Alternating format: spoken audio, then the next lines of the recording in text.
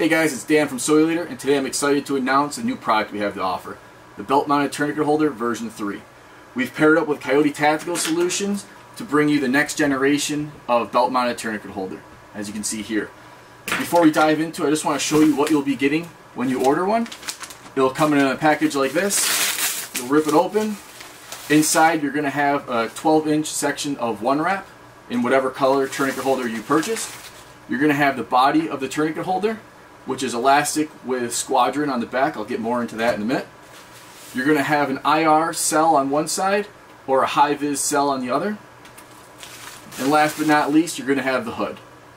So, with the belt mounted tourniquet holder version 3, it's going to have a 4-inch elastic on the outside, one to hold the tourniquet, one to hold your Sharpie, your decompression needle, or glow stick. If you're hungry on the range, you put a Slim Jim in it, that's up to you. On the back side, we have uh, squadron material here. And with that, you're going to have, as you can see, half inch adjustments for molle and PALS webbing, as well as four slits on the sides for horizontal mounting options. Inside, you're going to have a sleeve here where you can attach the hood of the tourniquet holder. Now, you'll notice here, this hood's all laser cut, and on the back side is a little opening where you can put this cell inside of it. So you can keep it empty if you'd like, or you can use the IR reflective side or the high-vis side depending on what you're using. So I'm going to open this up. I'm going to put the IR reflective in the sleeve right here. Push that down in there, reinvert it, and as you can see there, you've got the black IR reflective cell inside. As a right-handed shooter, I personally like to have the pen or decompression needle facing up, but it is fully ambidextrous, so you can have it facing down. And whether you're left-handed, you can have it upright or down as well. Same thing for if you're mounting this vertically. You can have it on the left side, you can have it on the right side, up to you. So you're going to insert the hood using the uh, loop Velcro inside the channel here, which has hook Velcro. You're going to slide it in there, get nice and tight, make sure it seals, and as you can see there, now you have the hood attached to the body of the tourniquet holder. We gave you a one foot section of one wrap. All right, this is hook on one side, loop on the other side. So no more, you're gonna have to email us and trying to figure out what side belt you have based on having a Lead Devil or Ronin Tactics belt, or if you have a GBS, GBRS belt, which switches the hook and loop for the inner and outer belt.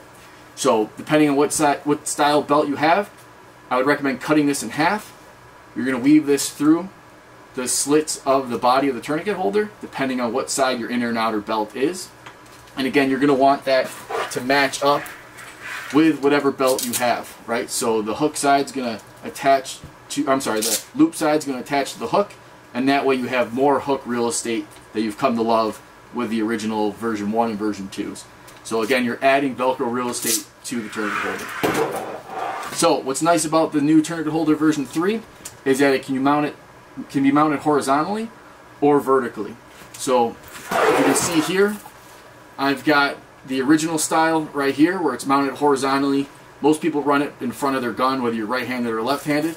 And as you can see here on the back, you're still adding that hook real estate or loop real estate depending on what belt you're using. So that's the standard way of mounting it right here. Again, this uh, hood now is now covering the windlass retainer. So you're not going to get any debris or any snag hazards anymore on the uh, windlass retainer. And as you can see here, it works from any belt from a one inch concealed carry. You can wear this for concealed carry, as well as all the way up to a two inch, two and, uh, two and three quarter. It doesn't matter. Really, we give you a one foot of one wrap, so you can basically attach this on anything. So as you can see here, this is a standard leather duty belt, and here I have it mounted in the vertical configuration. Another thing cool here that you guys have asked for for a long time now is a molle mounted option. So that's exactly what we got you. As you can see here, it's mounted on the side of this JPC 2.0, right on the cummerbund. Uh, with those half inch adjustments, you're able to adjust the ride height to exactly what you want, so it's not interfering with your arms or with your sling. So again, fully adjustable, uh, a lot of room to play with there. As you can see here, I've got a decompression needle, but again, it'll hold any of those Sharpies, uh, as well as as well as your standard uh, chem light as well. Uh, with that, It will be offered right now on release in multicam, black, coyote, ranger green, and wolf gray. And I've got multicam black on the way for you. So if you have any questions, feel free to email us at dan at Soileater or send us a DM. Thank you. Have a good day.